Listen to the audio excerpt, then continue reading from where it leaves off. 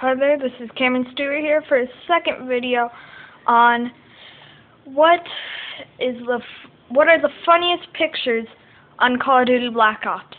First off, let's get going with our picture. Okay, this one's sad. Okay, Rolling Thunder just got called in. This guy managed to be right under it when it launched. I mean, is that even possible to launch it right into the guy's face? To make it crush. And I just feel bad because this is on one of the smallest maps ever in Nuketown, and it's just plain out sad. Up to the next picture.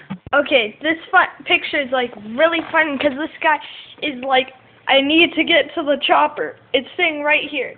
Not possible on the map unless, of course, it is a gunship, which they can fly down to it. But this guy's just running dead center into the chopper. And I think the only way he's going to be able to be stopped is by that little mannequin right there. Okay, off to the next picture.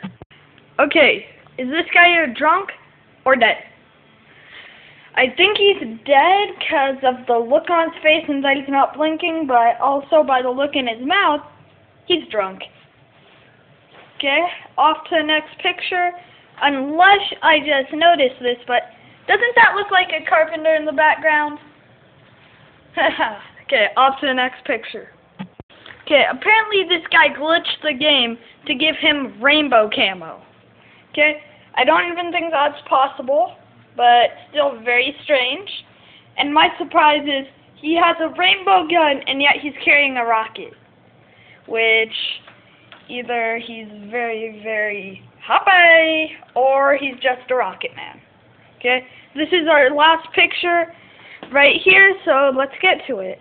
Okay, this picture is epic. I mean, really cool. I think they misfired on this one because this guy just barely dodged out of that gigantic explosion. Okay, he was about an inch to death. And as you can see, he's like, I'm getting the heck out of here.